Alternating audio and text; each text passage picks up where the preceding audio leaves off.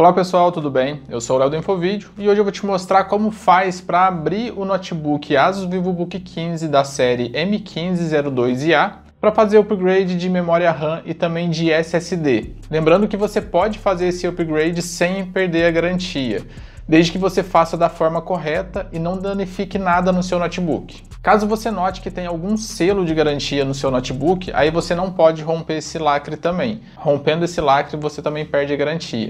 E se você quiser saber mais detalhes desse notebook Asus VivoBook 15, já tem vídeo aqui no canal com processador Core 5 e Core 3 e também com os processadores Ryzen 4800H e 4600H. Para acessar esses vídeos, basta verificar aqui no final da descrição que vai ter todos os vídeos listados ali abaixo. E também vou aproveitar para deixar aqui na descrição do vídeo os links de onde você pode comprar esse notebook. E sem enrolação, bora lá que eu vou te mostrar como faz para abrir esse notebook. Então a primeira coisa que a gente tem que fazer é desligar o notebook, verificar que ele realmente está desligado. Eu já desliguei ele aqui, e a gente pode verificar aqui na luz também, ela tem que estar tá apagada. Com a luz apagada a gente pode dar início à abertura do notebook.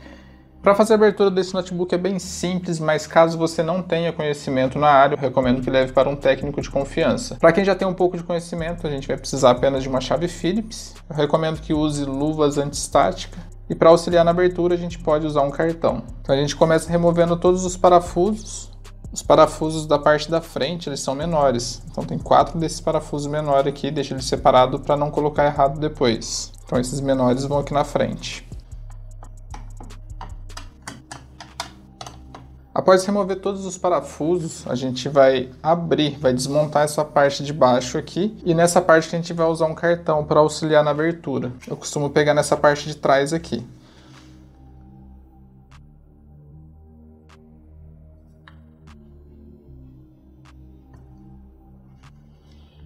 Então com cuidado você vai encaixar o cartão aqui na parte de trás e vai fazer uma alavanca.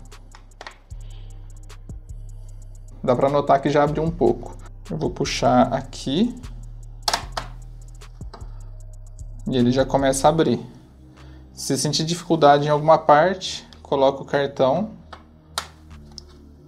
que ele vai auxiliar na abertura.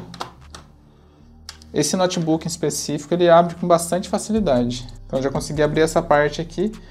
Agora puxando aqui ele abre o restante. Esse notebook é bem fácil de abrir.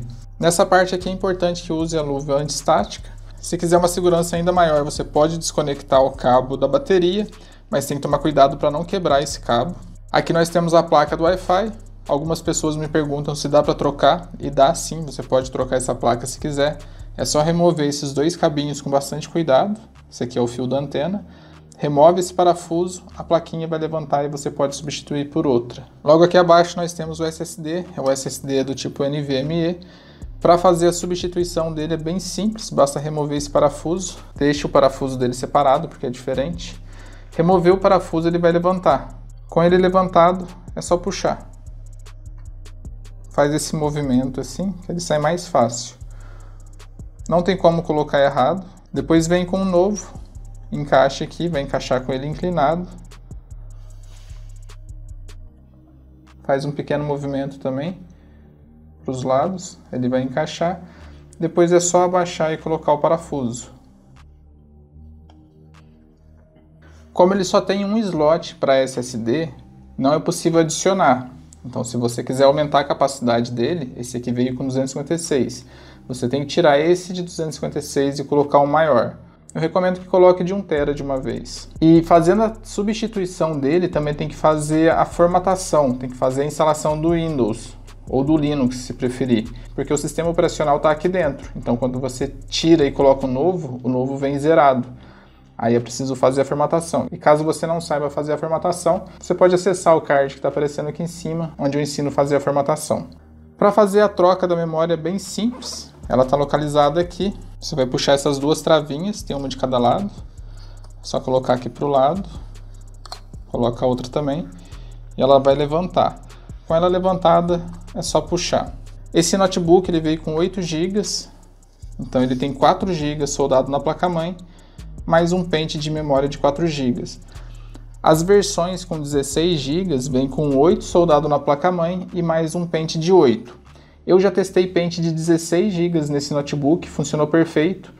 E já vi gente que conseguiu colocar pente de 32 GB.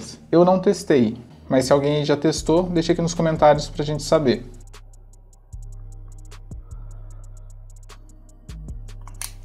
Aqui na descrição do vídeo, também fixado no primeiro comentário, eu vou deixar o link para SSD e a memória de 16 GB que eu já testei nesse notebook. Então o upgrade que dá para a gente fazer aqui sem perder garantia é a placa Wi-Fi, memória RAM e o SSD. A memória RAM e a placa Wi-Fi, caso você substitua uma dessas duas ou as duas, não precisa fazer formatação. A única que precisa formatar é o SSD porque o sistema está aqui dentro.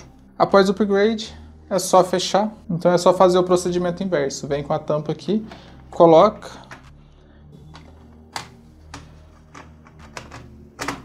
Faz o encaixe. Eu costumo dar uma encaixada mais ou menos aqui, ligar o notebook, ver se está tudo certo, conferindo que está tudo ok, aí sim eu termino de fazer o encaixe e coloco os parafusos. Esse aqui, como eu, eu não troquei nenhuma peça, eu já vou fechar ele, mas no seu caso aí eu recomendo que você teste antes de colocar os parafusos. Lembrando que os parafusos menores são aqui na frente e os maiores daqui para trás. Se esse vídeo te ajudou, deixa seu like, se inscreva aqui no canal que isso me ajuda bastante. Vou deixar o link da luva aqui na descrição do vídeo também. Ela é bem barata e bem importante. Eu sou o Léo do Infovídeo, vou ficando por aqui e até o próximo vídeo. Valeu!